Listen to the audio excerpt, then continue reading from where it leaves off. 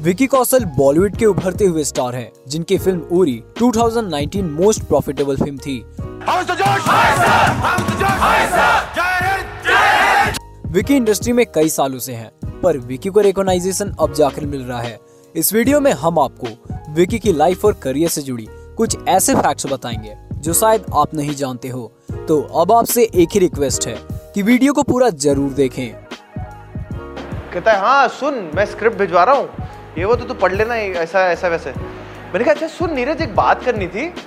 वो अनुराग सर कुछ कह रहे थे कि गंगा में कूद जाना। कहता हाँ तेरे को स्विमिंग आती है ना? अब वो तुम छह फुट के हो तो, तो सब लोग इमेजिन कर लेते पता नहीं तैर सकता है। मैंने कहा अब मुझे ये था डर भी लग गया कि यार फ़िल्म ना चली जाए। मैंने कहा हाँ मतलब मतलब कर सकता हूँ। ऐसे टाइप का थोड़ा कहती और वो समझ गया। तो उसने कहा, भाई स्क्रिप्ट भूल जा। स्क्रिप्ट बाद में पढ़ना। पहले जाके स्विमिंग सीखो। नंबर वन विकी के पापा श्याम कौशल बॉलीवुड के जाने माने एक्शन डायरेक्टर हैं, पर वो घर पर कभी भी फिल्म्स की बात डिस्कस नहीं करते हैं, और विकी और उनके भाई भी कभी भी शूटिंग या फिर किसी स्टार से मिलने की जिद नहीं करते थे। हालाँकि विकी के दिमाग में बचपन से ही था कि उनको एक्टर बनना है।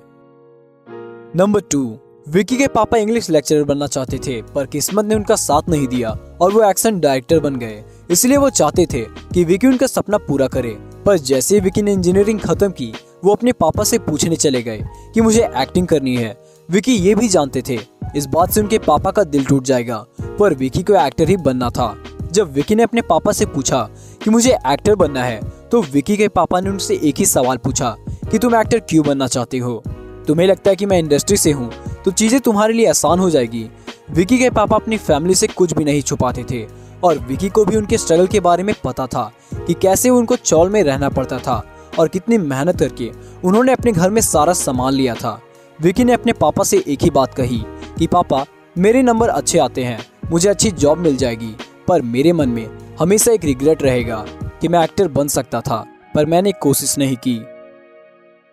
नंबर थ्री 2009 में विकी ने ग्रेजुएशन खत्म करते ही मुंबई में किशोर नमित एक्टिंग स्कूल में एडमिशन ले लिया, क्योंकि विकी जानना चाहते थे कि वो सच में एक्टर बनना चाहते हैं, या ये सिर्फ़ उनकी हॉबी है। वहाँ चार पाँच महीने एक्टिंग सीखने के बाद विकी श्योर थे कि उनको एक्टिंग ही करनी है। नंबर फोर एक्टिंग सीखने के बाद विकी ने अनुराग कश्यप के साथ गैंग्स ऑफ़ वासेपुर में एज असिस्टेंट डायरेक्टर काम किया। इंटरेस्टिंगली विकी के पापा भी उस फ़िल्म में एज एन एक्शन डायरेक्टर काम कर रहे थे। उसके बाद विकी ने नसीरुद्दीन शाह और कुमुद मिश्रा के साथ थिएटर भी किया। Number five assistant director theatre करने के साथ साथ विकी फिल्म्स का ऑडिशन भी देते थे और वो रोज सुबह उठते और बैग में कुर्ता पजामा और ट्रिमर रखकर ऑडिशन देने निकल जाते थे। ट्रिमर इसलिए क्योंकि जैसे लुक की रिक्वायरमेंट वैसा लुक मिल जाए। विकी ऑडिशन देने जाते और सबसे पहले पूछते am I fit for the audition और ये सवाल वो हमेशा पूछते थे। तीन चार साल विकी ने ऐसे ऑडिशन दिया। फिर 2013 में विकी ने ज़ुबान फ़िल्म का ऑडिशन दिया और वो उस फ़िल्म में एज लीड एक्टर के लिए कास्ट किए गए। अल्लाह करे उसके मोटर कार पंचर होना माँगता है। हो तेरा सर न को पंचर होने को माँगता।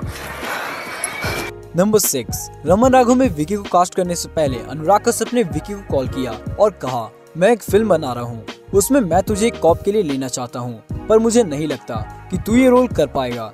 क्योंकि तूने ऐसी ज़िंदगी कभी नहीं देखी है। तेरी फैमिली बहुत अच्छी है। मुझे नहीं लगता तू कर पाएगा। तब विकी ने कहा, ऐसा कैसा रोल है सर अब तुम्हें एक करके ही दिखाऊँगा। विकी का किरदार बहुत डार्क था और वो बॉलीवुड के टिपिकल कॉप की तरह बिल्कुल नहीं था।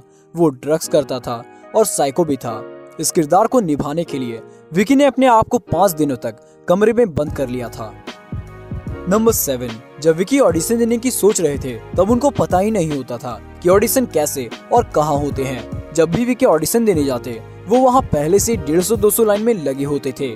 उस वक्त विकी यही सोचते थे कि यार इनको कैसे पता चल जाता है कि ऑडिशन कहाँ, कैसे होने वाला है। फिर विकी ने सोचा कि मैं कैसे भी करके इनके व्हाट्सएप ग्रुप में घुस जाता हूँ। फिर मुझे भी पता चल जाएगा कि नेक्स्ट ऑडिशन कहाँ है। नंबर एट, एक बार विकी को सॉफ्ट ड्राइंग का सामना करना पड़ा था। विकी को ऑडिशन देने गए थे, पर ऑडिशन के बारे में विकी को कुछ नहीं पता था। विकी को कास्टिंग डायरेक्टर ने देखते ही बोला, सुन तो पहले पुशअप्स कर ले। विकी ऑलमोस्ट 200 लोगों के सामने पुशअप्स कर रहे थे। विकी को लगा, ऐसे ही होते होंगे ऑडिशन फिर डायरेक्टर ने कहा, यार, ये डिओड्रेंट के एड के लिए ऑडिशन हो रहे हैं। इसमें बॉडी होना कंपलसरी है। हम बस तुम्हारे साथ थोड़ा मज़ाक कर रहे थे। नंबर नाइन जब विकी अनुराग कश्यप के असिस्टेंट डायरेक्टर थे तो उनकी मुलाकात नीरज घाईवान से हुई। नीरज ने विकी को अपनी फ़िल्म मसान के बारे में बताया। जब मसान के मेकर्स फ़िल्म बना रहे थे तो उनको लगा भी नहीं था कि ये फ़िल्म रिलीज़ हो पाएगी। और पैसे कमाने का तो सवाल ही नहीं उठता।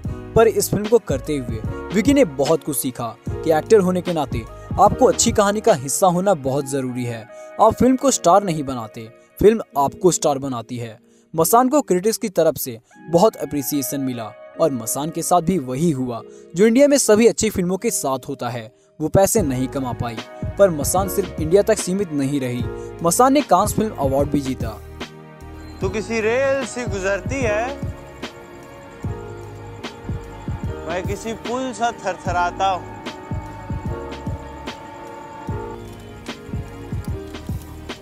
साला, ये दुख का खत्म नहीं होता, बे।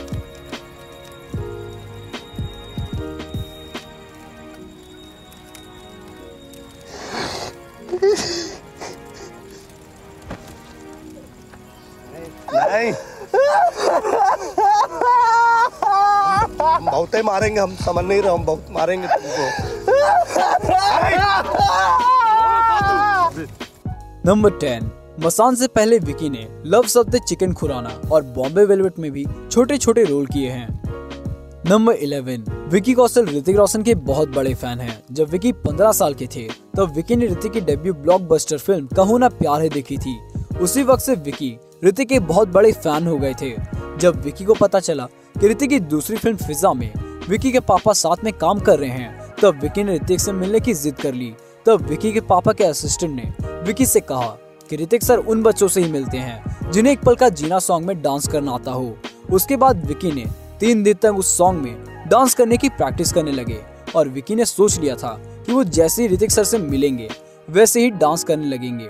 जब वो ऋतिक से मिले तो ऋतिक ने उनके साथ हैंडशेक किया पिक्चर्स क्लिक करवाई और विकी सोच रहे थे कि अरे, ये तो डांस करने को बोल ही नहीं रहे हैं। विकी अपने पापा के असिस्टेंट को देख रहे थे और असिस्टेंट विकी को।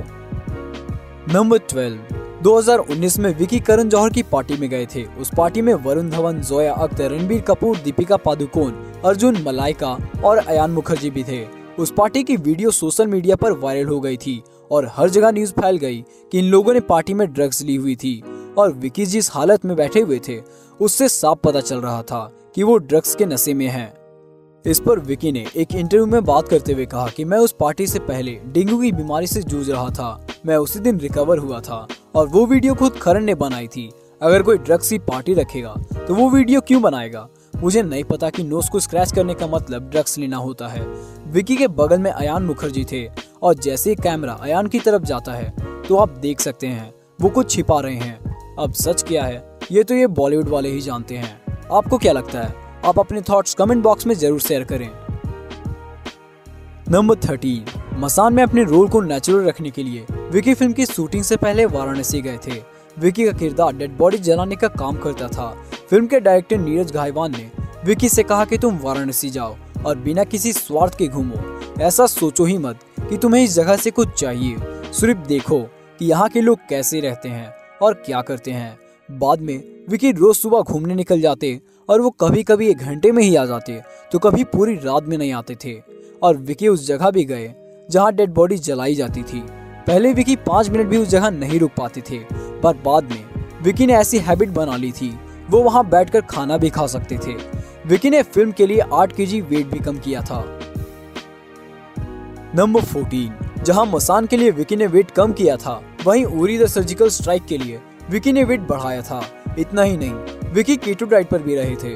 विकी ने फ़िल्म के लिए मिलिट्री ट्रेनिंग और मिक्स मार्शल आर्ट भी सीखा और शूटिंग के दौरान विकी के आर्म्स भी इंजर्ड हो गए थे। नंबर 15 बॉलीवुड के सेलिब्रिटी अपनी डाइट का बहुत ख्याल रखते हैं, पर विकी ऐसा नहीं है। विकी को जंक फ़ूड खाना बहुत पसंद है। पानी पूरी जलेबी रबरी आलू पराठा और चाइनीज़ डिश विकी की फेवरेट है। So that it is for today guys if you watch this for I am sure you like this video so hit the subscribe button and turn on the notification bell